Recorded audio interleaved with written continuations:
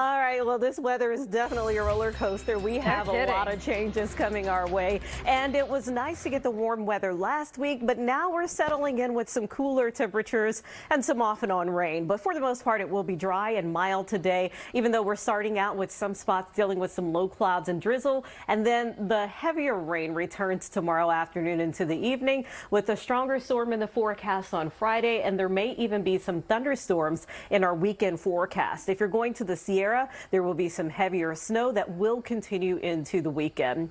Now, just getting started in Concord this morning, it's in the low 50s. It is mostly sunny and we will have a beautiful day. Make some plans to get out there and enjoy it because as you're taking a look at the seven day forecast, already up at the bottom of the screen, it is going to be raining off and on starting tomorrow and into the weekend. Temperature wise today, we're headed for the upper 60s for the interior East Bay. We're in the mid 60s for much of the North Bay. San Francisco, a high of 62 there, 64 in Mountain View, and 66 degrees today in San Martin. It's about the same tomorrow as well, but we'll start to cool off in the North Bay where the rain arrives earlier. We're going to see temperatures in the 50s where we start to see that rain coming in uh, by late morning there, but the rest of the Bay Area seeing it holding off until the afternoon into the evening. A round of some heavy rain passing by late tomorrow night and then tapering off on Thursday morning.